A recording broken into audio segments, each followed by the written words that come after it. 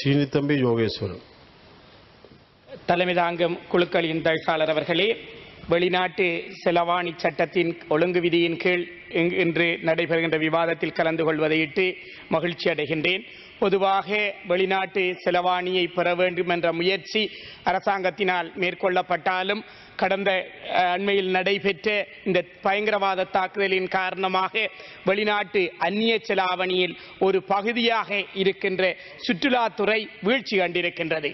நான் சுற்றுலாத்துறை பகுதியை சார்ந்த மட்டக்களப்பு மாவட்டத்தைச் சேர்ந்தவன் என்ற ரீதியிலே நான் அதனை நன்கு அறிவேன். பொதுவாக சுற்றுலா விடுதிகளில் நடாத்தப்பட்ட அந்த தற்கொலை குண்டு தாக்குதலின் காரணமாக இந்த அந்நிய செலாவணியில் பாரிய வீழ்ச்சி சுற்றுலாத்துறையினர் சுற்றுலாத்துறையினர் இங்கு வருகை தர முடியாத சூழலால் ஏற்பட்டிருக்கின்றது. இதில் முக்கியமான பங்கு இந்த அரசாங்கத்துக்கு இருக்கிறது. ஏனென்றால் அரசாங்கம் முன்கூட்டியே இந்த சம்பவங்களை அறிந்திருக்கின்றது. இவ்வாறான தீவிரவாத தாக்குதல்கள் நடைபெற சந்தர்ப்பம் இருக்கின்றது என்பதை அறிந்திருந்தும் அவற்றை பாதுகாக்க அரசாங்கம் தவறி இருக்கிறது குறிப்பாக இந்த நாட்டின் ஜனாதிபதி அவர்கள் பாதுகாப்பு அமைச்சையும் வைத்திருக்கின்றார் சட்டம் ஒழுங்கு அமைச்சையும் வைத்திருக்கிறார். அவர் சரியாக தந்த கடமையை செய்யவில்லை. செய்திருந்தால் இந்த நிலைமை ஏற்பட்டிருக்காரு அதே நேரத்தில் நான்காம் தேதி நான்காம் மாதம் இது சார்பான அறிவுறுத்தல் கிடைத்திருக்கிறது. ஆனால் அந்த அறிவுறுத்தலை சரியான முறையில் அவர்கள் கடைபிடிக்கவில்லை. கடைபிடித்திருந்தால் இவ்வாறான பாரிய அழிவு வந்திருக்காது அதன் மூலம் இந்த நாட்டின் சுற்றுலாத்துறையில் வீழ்ச்சி கண்டிருக்க முடியாது. இன்று சுற்றுலாத்துறையினர் வெளிநாட்டு சுற்றுலா துறைக்காக இங்கு வருகை தருபவர்கள் மிகவும் பயப்படுகின்றார்கள். ஏனென்றால் இந்த நாட்டிலே ஒரு தீவிரவாதம் இருக்கின்றது அடிக்கடி குண்டு வெடிக்கின்றது என்ற நிலைமை இப்போது உருவாகிவிட்டது. முன்பு தமிழீழ விடுதலை புலிகளின் காலத்தில் இங்கு வருகை தந்தவர்கள் அஹ், வெளிநாட்டு பிரதிநிதிகள் இங்கு சுற்றுலாவாக வருகை தந்தவர்கள் அவ்வாறு கருதவில்லை பெரும்பாலும். இப்போது அவர்கள் பயப்படுகிறார்கள். காரணம் சுற்றுலா விடுதிகளில் கூட தாக்குதல் நடக்குகின்றது. ஆனால் அரசாங்கம் இன்னும் சரியான முடிவுகளை சிலதில் எடுக்க தவறி இருக்கின்றது.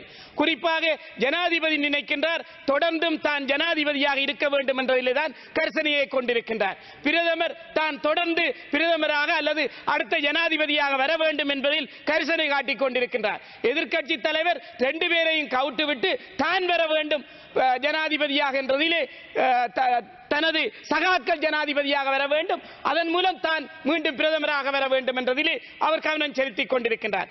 இந்த நிலைமையைத்தான் நான் இங்கு காண்கின்றோம். ஆனால் முற்றுமுழுதாக இது சார்பாக ஆராய்கின்ற தன்மை மிக குறைவாக இருக்கின்றது.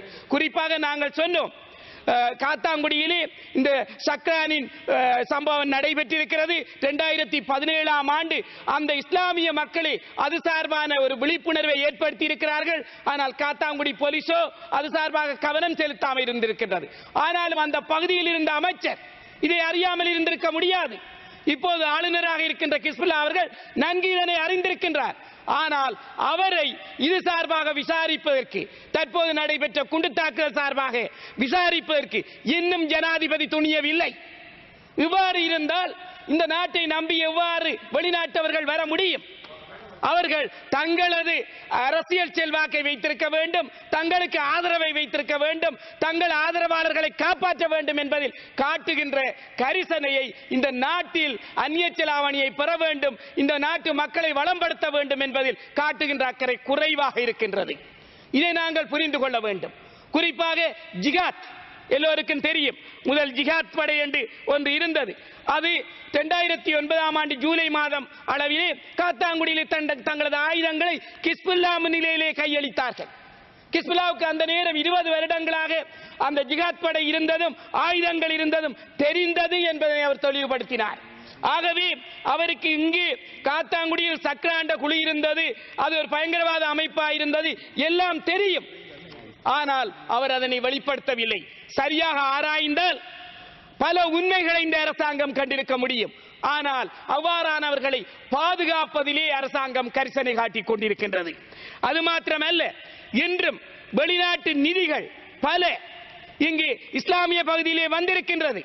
அது எவ்வாறு வந்தது எந்த வழியூடாக வந்தது என்பதை ஆராய்வதில் அரசாங்கத்தின் கரிசனை குறைவாக இருக்கின்றது.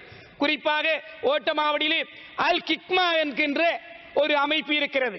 அது காரு மௌலவி என்பவர் வைத்துக் கொண்டிருக்கிறார் ஆனால் அவர்கள் குழாய் கிணறு அமைக்கின்ற செயற்பாடை செய்கின்றார்கள்.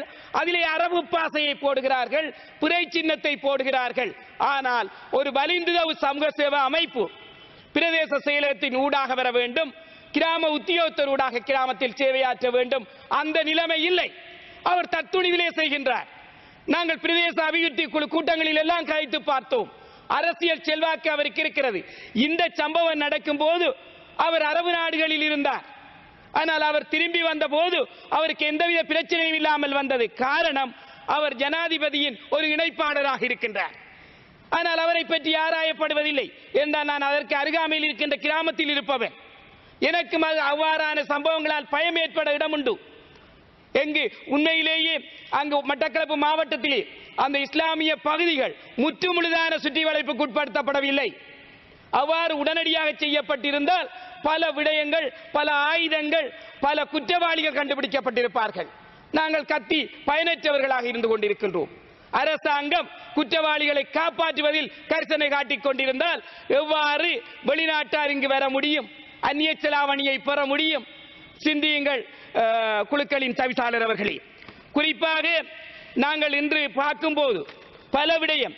தொழிற்சாலைகள் வடக்கு கிழக்கிலே இருந்த தொழிற்சாலைகள் எல்லாம் இப்போதும் இன்னும் இந்த அரசாங்கம் வந்து இவ்வளவு காலமாகியும் இன்னும் திருத்தி அமைக்கப்படவில்லை.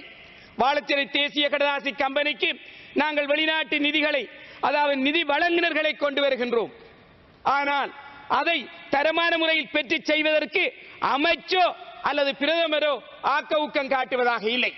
நாங்கள் வாழைச்சேரி தேசிய கடதாசி கம்பெனிக்கு கொரிய நிதியை கொண்டு வந்த போது அதை தூக்கி கொண்டு அந்த நிதியை எம்பிலிப்பிட்டியா தொழிற்சாலையை கட்டுவதற்கு காட்டின அக்கறையை வாழைச்சேரி தேசிய கடதாசி கம்பெனிக்கு காட்டவில்லை. ஆனால் இப்போதும் அதற்கான நிதிகள் வழங்கினர்கள் தயாராக இருக்கிறார்கள். அவ்வாறு தொழிற்சாலை இயக்கினால் அதன் மூலம் வருமானம் பெற இருக்கின்றது. அதே நேரத்தில் சுற்றுலாவுக்கு பாசுக்குடாவுக்கு வருபவர்கள் அந்த தொழிற்சாலைகளையும் பார்வையிடுவார்கள். ஆகவே அந்நிய செலாவணிகளை பெறுவதற்கேற்ற வழிமுறைகளுக்கு அது வழிவகுத்து கொடுக்கும். பல விடயத்திற்கு அது உதவும். ஆனால் அவ்வாறு இல்லை. இன்று மக்களின் வாழ்வாதாரம் எல்லா விடயத்திலும் பின்தங்கிய நிலையில் இருக்கிறது. நீண்ட காலமாக கிழக்கு மாகாணத்தின் தொண்டராசிரியர் சம்பந்தமாக நாங்கள் விடுத்த கோரிக்கை நிமித்தம் இன்றைய தினம் தொண்டராசிரியர்களுக்கான ஒரு நேர்முக பரீட்சை நடைபெறுகிறது. அவ்வளவோ பேருக்கும் அது கொடுக்கப்படும் என்ற உறுதி அளிக்கப்பட்டிருப்பதனால் எங்களது கோரிக்கை ஒன்று ஏற்றுக்கொள்ளப்பட்டிருக்கிறது என்ற வகையில் நாங்கள் இந்த இடத்தை அந்த நன்றியை மட்டும் தெரிவிக்க வேண்டியவர்களாக இருக்கிறோம். ஆனால் அரசாங்கம் ஒவ்வொரு விடயத்திலும் கவனம் செலுத்த வேண்டிய நிலையில் இருந்து கொண்டிருக்கின்றது. ஆனால் கும்புருமூலை என்கின்ற கல்குடா பகுதியிலே அந்த எதனோல் தொழிற்சாலை ஒன்று அர்ஜுன் அலோசியஸ்னால் உருவாக்கப்பட்டு அங்கு அது நடாத்தப்படுகிறது. அது அந்த மக்களுக்கு பொருத்தமற்றது. அதை மூடுங்கள் என்று சொன்னால் அதிலே அரசாங்கம் அக்கறை காட்டுவதாக இல்லை. ஏனென்றால் அந்த மக்களின் வாழ்வாதாரத்தை அளிப்பதற்கு எதனால் தொழிற்சாலையும் வழிவகுக்கும் என்பதனால் அரசாங்கம் அதிலே சந்தோஷமாக இருக்கிறது. அந்த தொழிற்சாலையை தொடர்ந்து வைத்திருப்பதற்கு. ஜனாதிபதிக்கு கூட நாங்கள் போதையற்ற நாட்டை கொண்டு வருவோம் என்று கூறின அந்த ஜனாதிபதிக்கு நாங்கள் அந்த தொழிற்சாலை சார்பாக கடிதத்தை கையளித்தோம். அவர் கூட இன்னும் அது சார்பாக நடவடிக்கை எடுக்கவில்லை. ஆகையால் நாங்கள் ஒட்டுமொத்தமாக பார்க்கும்போது இன்று இந்த நாட்டிலே அந்நிய செலாவணியை பெறுவதற்கேற்ற சரியான முயற்சி திட்டங்கள் இல்லை. அரசாங்கம் தங்களது இருக்கைகளை காப்பாற்றுகின்றதில் தான் அக்கறையை காட்டிக் கொண்டிருக்கிறது. அதுதான் உண்மை. வெளிநாட்டார்களுக்கு ஏற்ற பொழுதுபோக்கு வசதி வாய்ப்புகளை இந்த நாட்டிலே பெற்றுக்க ஏற்பாடு செய்கின்ற தன்மை மிக குறைவாக இருக்கிறது. நான் முன்பு ஓமானுக்கு போயிருந்தேன் சீனாவுக்கு போயிருந்தேன். பல நாடுகளுக்கு போயிருந்தேன். அங்கு இருக்கின்ற பொது பொழுதுபோக்கு சாதனங்களை பார்வையிட்டேன். அங்கு அந்நியர்கள் அந்நிய நாட்டவர்கள் வந்து எவ்வாறு தங்களது பொழுதுபோக்குகளை கழிக்கின்றார்கள் என்பதை நன்றாக பார்வையிட்டேன். அதோடு ஒப்பிட போது இந்த சிறிய அழகான நாட்டில் இந்த செயற்பாடுகள் பொழுதுபோக்கை கழிக்கக்கூடிய செயற்பாட்டு திட்டங்கள் மிக குறைவாக இருக்கிறது. அவ்வாறு இருந்தால் எவ்வாறு அந்நிய செலாவணியை இந்த நாட்டிலே கொண்டு வர முடியும்? சிந்தித்து நாங்கள் அவ்வாறான நடவடிக்கைகளை அரசாங்கம் மேற்கொள்ள வர வேண்டும். அரசாங்கம் முதல் மு- முதல் தடவையாக செய்ய வேண்டியது வெளிநாட்டில் இருந்து இங்கு காசு கொண்டு வர வந்திருப்பவர்களை அவர்களை குழு போட்டு ஆராய வேண்டும். ஆளுநர் கிஸ்மில்லா அவர்கள் பல்கலைக்கழகத்திற்கு தந்த மகனின் பேரிலும் தந்த பேரிலும் தன்னோடு சேர்ந்தவர்களின் பேரிலும் நிறைய நிதியை கொண்டு வந்திருக்கிறார். ஆனால் அது சார்பாக ஆராயப்பட வேண்டும். நாங்கள் கேட்டுக்கொண்டிருக்கிறோம். அதை ஆராய்ந்து அந்த நிதி எங்கிருந்து வந்தது அது யார் கொடுத்தார்கள் என்பது ஆராயப்பட வேண்டும். சட்ட ரீதியாக நிதிகள் கொண்டு வரப்பட வேண்டும். ஆனால் தமிழீழ விடுதலை புலிகளின் காலம் அதற்கு பின்பும் தமிழ் மக்களின் பலிந்துதவ் சமூக சேவா அமைப்புக்கு சிறு நிதி வாரண்டாலும் அது பெரிய ஆராய்ச்சிக்கு உட்பட்ட உட்படுத்தப்பட்டது. ஆனால் இஸ்லாமிய மக்கள் மத்தியிலே எவ்வாறான செயற்பாடு நடைபெறவில்லை. இனியாவது அரசாங்கம் நடைபெ அந்த செயற்பாட்டில் இறங்க வேண்டும். பெருந்தொகையான நிதிகள் அரபு நாடுகளில் இருந்து வருகின்றன. அவ்வாறு வந்த நிதிதான் ஐஎஸ் தீவிரவாதிகளை வளர்த்திருக்கிறது இந்த நாட்டில். அந்த வளர்ப்பு தான் இன்று பாரிய அளவை இந்த நாட்டிலே எங்களுக்கு தந்திருக்கிறது. இதை அரசாங்கம் உணர்ந்து கொள்ள வேண்டும். இன்றும் அந்த பயங்கரவாதத்திற்கு துணை போகின்றவர்களை காப்பாற்றுவதற்கு அரசாங்கம் முனையக்கூடாது. தங்களது அரசியல் இருக்கைகளை பாதுகாக்க வேண்டும் என்பதற்காக இந்த தவறை விட்டு இந்த அப்பாவி மக்களை அழிவு பாதைக்கு இட்டு செல்லக்கூடாது. இதிலே அரசாங்கம் மிக கவனமாக இருக்க வேண்டும் என்று இந்த இடத்திலே கேட்டுக்கொள்கின்றேன். அத்தோடு முக்கியமாக மட்டக்களப்பு மாவட்டத்திலே கடந்த காலங்களில் இந்த இவ்வாறான தௌவிக் ஜமாத் அமைப்பு அந்த அமைப்பை சார்ந்தவர்களின் செயற்பாடு சம்பந்தமாக அங்கிருக்கின்ற போலீசார் அறிந்திருந்தும் அந்த போலீசார் அதிலே கவனம் செலுத்தாமல் இருந்திருக்கின்றார்கள். ஆகவே இங்கு மட்டக்களப்பு காத்தாங்குடி மட்டக்களப்பு ஏறாவூர் வாழச்சேனை இந்த பகுதிகளில் இருக்கின்ற போலீஸ் நிலையங்களில் இருக்கின்ற போலீஸ் அதிகாரிகள் இடமாற்றப்பட வேண்டும் அந்த மாவட்டத்தில் இருந்து முடித்துக்.